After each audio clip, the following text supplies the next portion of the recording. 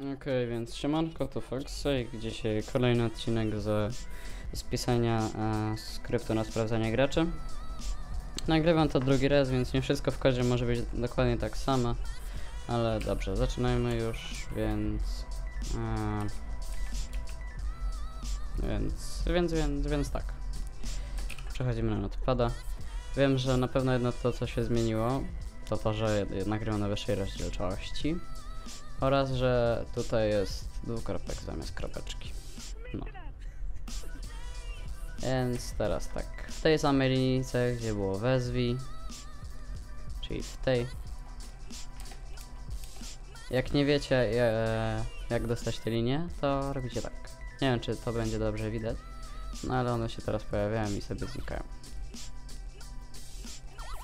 Jeśli argument pierwszy jest mm, ale sobie teraz zrobimy czysty. Jest czysty. Jeśli argument drugi jest set, czyli jest ustawiony. Elsa, czyli co się dzieje, gdy nie jest ustawiony. Send.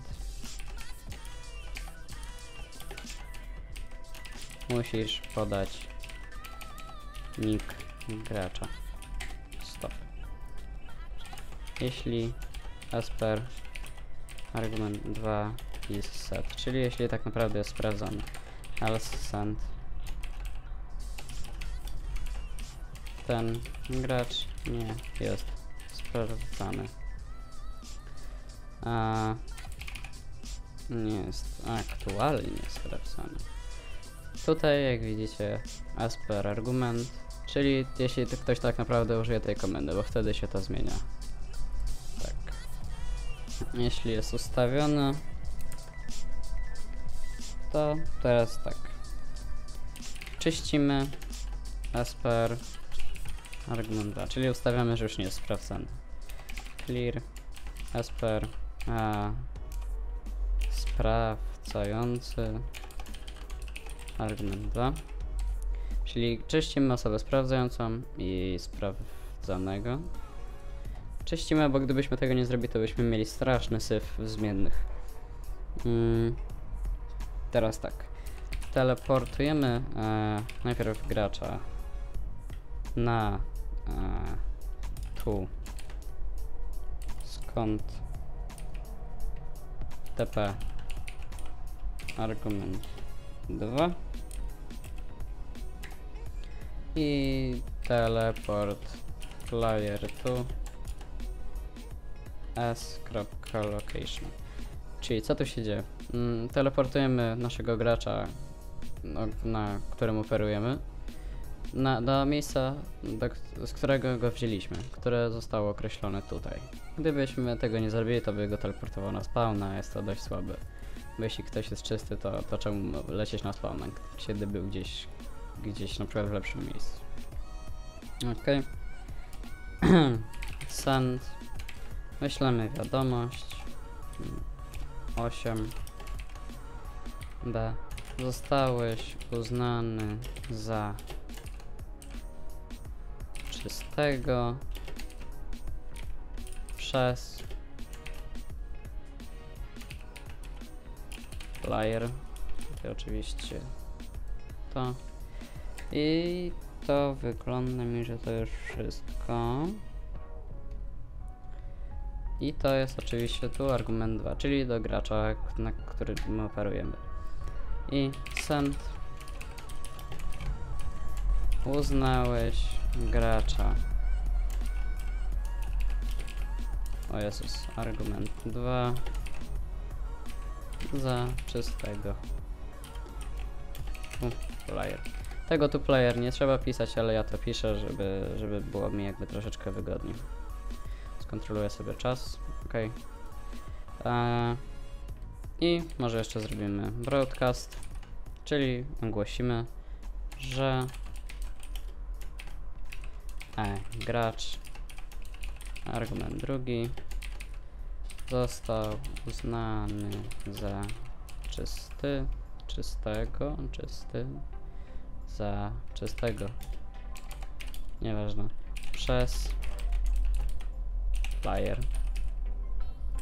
i stop. I teraz już chyba jest wszystko. Mam taką nadzieję. Ok. Robimy kolejną komendę if argument 1 is. Eee, cheaty. Czyli jeśli sprawdzimy, że ten gracz ma cheaty. If argument 2 is set else send eee, musisz podać nick gracza. Stop. Jak widzicie, ta, ta, ta budowa tak naprawdę się jest bardzo podobna, czyli tak naprawdę można już tak naprawdę te komendy kopiować, tylko zmieniać e, końcówkę. Jeśli asper argument 2 is set elsa send 8c ten gracz nie jest aktualnie sprawdzany Tutaj też sobie zrobimy wykrzyknik i stop. I jeśli zobaczymy, że on ma cheaty, to najpierw go zabijamy. Kill argument 2. Teleport argument 2 to s location, czyli tu tepamy go na spawna. Set asper argument 2 no nie, nie, nie set, tylko clear sprawdzający i to sobie wszystko wrzucimy na początek, żeby było tak jak wszędzie. Ok. Zabijamy, teleportujemy. Teleport player to s location. Eee, send. A, uznałeś gracza. Argument 2. Za. Nie, może inaczej. Zbanowałeś gracza. Argument 2. Za. Cheaty. Sprawdzanie.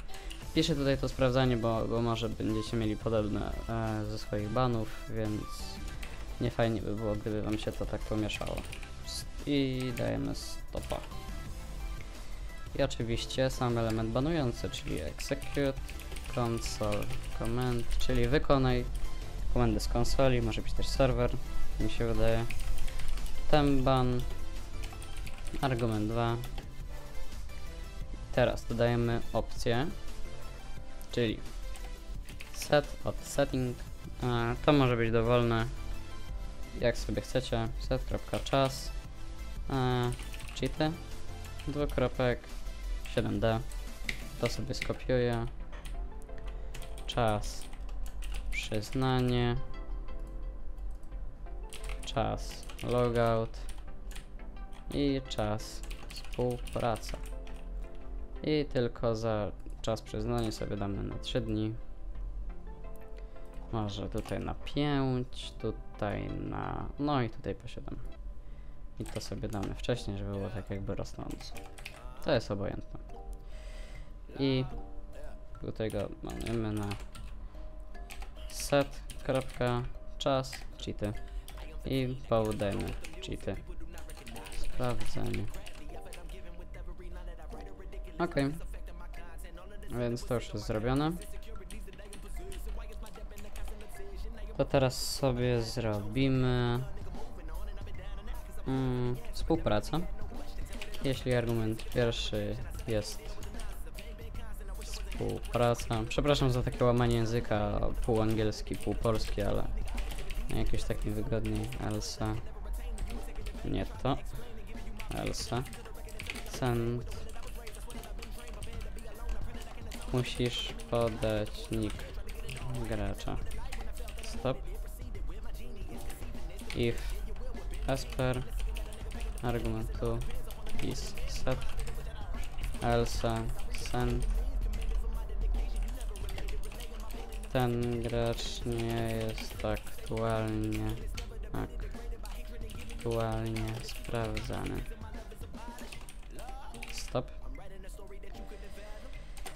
Czyli jeśli już wszys- przejdzie wszystkie warunki, to za współpracę A możemy sobie tak naprawdę skopiować. Nie, nie będzie problemu.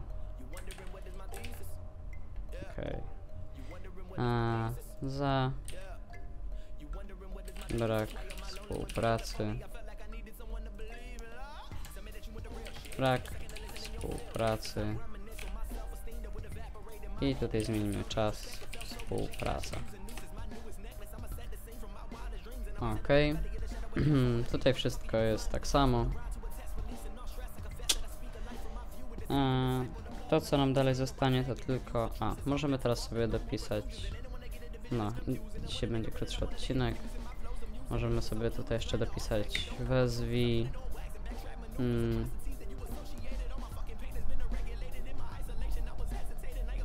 A, ła, ła, ła,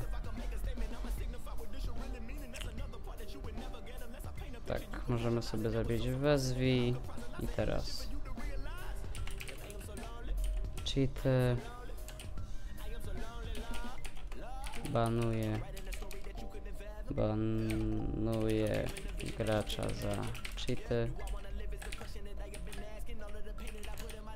Za a może oznacza gracza jako czystego. Esper czysty. Współpraca. Banuje gracza za brak współpracy. Może to sobie wrzucimy wyżej. Żeby bany były obok siebie. Czy to już jest wszystko? Wezwij. Takim znaczkiem sobie będę oznaczać co jest zrobione. Czysty jest zrobiony. Czyli te są zrobione. Współpraca zrobiona. Help prawie. To zaraz zrobimy. I to jeszcze zostaje. Mm. Tak. Współpraca. Eee, tutaj sobie zrobimy. Skopiujemy if argument 1 is help help. Robi się to samo. E, może to można jakoś inaczej ale aktualnie nie ma pomysłu. No stówę się da. Mm. ok teraz zrobimy komendę ustawiania klatki. Jeśli argument 1 is ustaw klatka. If play, player has permission. Text 2 już wam mówię o co chodzi z Plexem 2 chodzi o to aby na przykład gracz znaczy helper jak jeśli mu dacie uprawnienia do współpracy cheatów czy, e, do oznaczenia i do wzywania nie mógł e, zmieniać miejsca klatki. To po prostu to będzie wyższa permisja, którą daje się na przykład adminowi. Tutaj w tym momencie, o tu, już wiemy, że gracz ma permisję helper, bo dostał się już do tego miejsca, czyli wyślemy mu, jeśli nie, nie będzie miał permisji admina, musisz mieć uprawnienie admina. Stop. Um, set as location to players location. Czyli ustawiamy spawn location na lokalizację gracza, send prawidłowo ustawiłeś e, miejsce spawnu. To jest oczywiście spawn po sprawdzeniu. Jeśli argument 1 jest, to, to będzie bardzo podobne, czyli można skopiować. Ustaw e, ustaw klatka, a tutaj będzie oczywiście ustaw spawn. A tu jest S, tutaj będzie K. Stawiłeś miejsce klatki do sprawdzania. Ok. I tutaj już wygląda na to, że wszystko jest zrobione, przynajmniej w tym miejscu. Możemy jeszcze mu na przykład e, w momencie wzywania dać mu skrzyneczkę. czyli open chest to uh, with with one row named menu przyznawania. Tu argument tu. E, format. Możemy tutaj sobie oczywiście zastosować te pętle lub tutaj jeszcze robimy set. I tu. 0 lub ten times format slot. I of flyer with uh, gray glass pane pane named to be unstealable other. 1 tu i. Ok i tutaj robimy set i tu. 17 z tego co pamiętam. Lub ten times format slot i dobra nie chce mi się tego pisać. E, o tak. Zobaczę jak z czasem. O 17 minutek. Dobrze. To zrobimy do tego momentu albo nie. Mm, format slot. To będzie oczywiście dziesiąty będzie. Mm, poczekajcie muszę sobie odpalić moją ściągę. Eee, albo nie odpalę. Policzę sobie od 0 do 8, 9, 10 11, dobra powiedzmy 11 ojej. Coś mi się stało z odkładem, ok format slot 11 of flyer with uh, green full named przyznaje się run przyznaje się przyznaje się eee. Okej, chyba. I jeszcze nie przyznaje się to close. With red full i, i tak jak to jest 11 to 12, 13, 14, 15 powiedzmy. Ok i zobaczymy tylko jeszcze czy działa. SK Reload YouTube. Wszystko działa. SPR wszystko fajnie działa. SPR Help. Wszystko fajnie działa. Ok więc na dzisiaj to tyle. Mm, w następnym odcinku wam o Jezu. w następnym odcinku wam pokażę e, resztę udoskonalimy to i wytłumaczę. Więc żegnam i do następnego odcinka. Cześć